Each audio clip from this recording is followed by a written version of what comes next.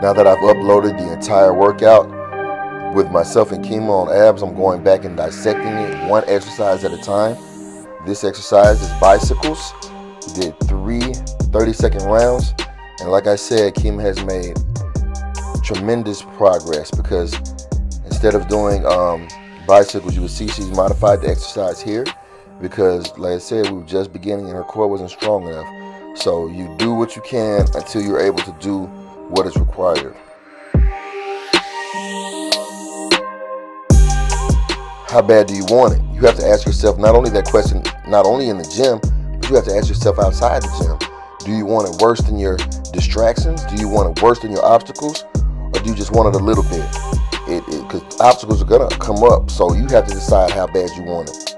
Going right along with that point, nobody can want it for you. I, doesn't matter how bad I want to see you get fit or how proud I am of the progress you've made.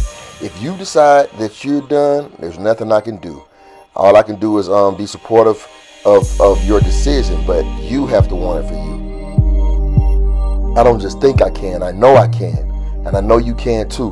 Let's get it.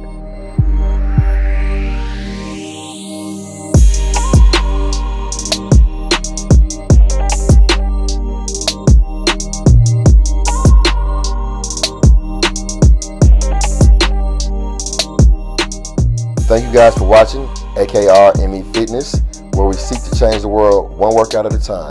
And that's the end of this video.